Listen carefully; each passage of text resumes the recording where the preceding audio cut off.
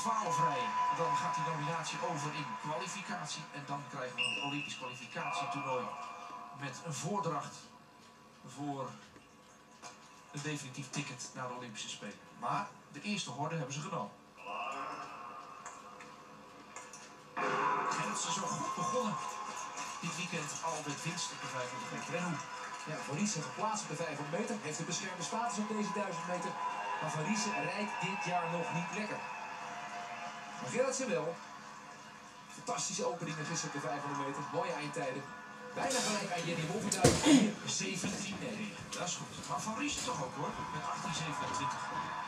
Van Riesen, toch een vooral de wereldbeker. Eentje gewonnen zelfs in China, twee keer brons ook. Goede reeks gereden en die nominatie dus meerdere keren bemachtigd. Alleen het zegt niet zoveel, het gaat om dit seizoen. De volle ronde van Marjan Timmer ging in 28-2. 28-3 voor Gerritsen. In de tussentijd nog wat sneller. Van Riesen zit daar weer vlak achter. Timmer had 46-33. Dus Van Riesen geeft veel toe, moet een daverende slotronde rijden. En Gerritsen doet dat heel slim hoor. Duikt achter Van Riesen dan nog de binnenbocht.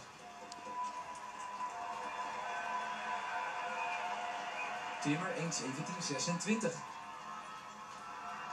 Houdt Gerritsen stand in de slotronde 1, ja 1.16.83. We zijn al onder de 1.17. Van Riesen zit boven de tijd van Timmer.